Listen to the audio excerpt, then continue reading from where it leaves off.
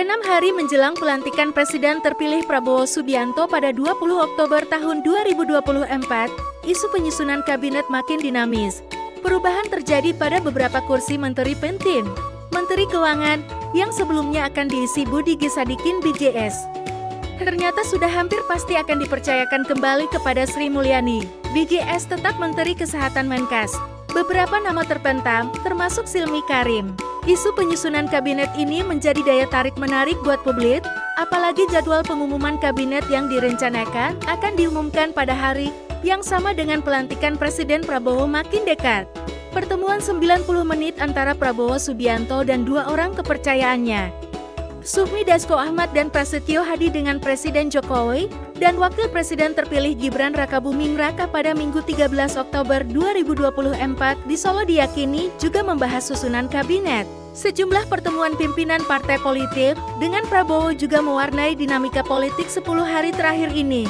Antara lain pimpinan Majelis Syuro PKS yang menemui Prabowo di Kertanegara pada Jumat 11 Oktober 2024 yang secara tegas menyatakan dukungan terhadap pemerintahan Prabowo. Diyakini pertemuan itu juga membahas mengenai susunan kabinet. Susunan calon menteri yang awalnya sudah cukup kuat, ternyata berubah dalam 10 hari terakhir. Mantan Ketua Umum Partai Golkar Airlangga Hartarto yang saat ini masih menjabat Menko Perekonomian, tiba-tiba hilang dari calon kuat Menko Perekonomian.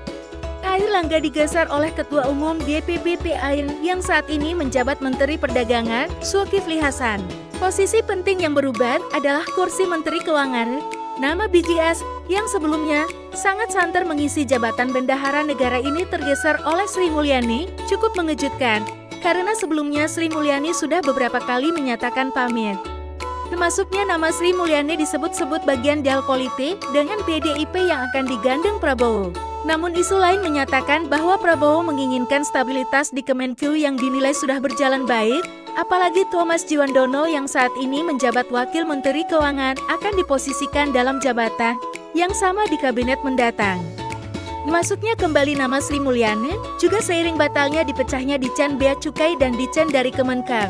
Awalnya, Bea Cukai dan Pajak akan dijadikan badan sendiri bernama Badan Penerimaan Negara.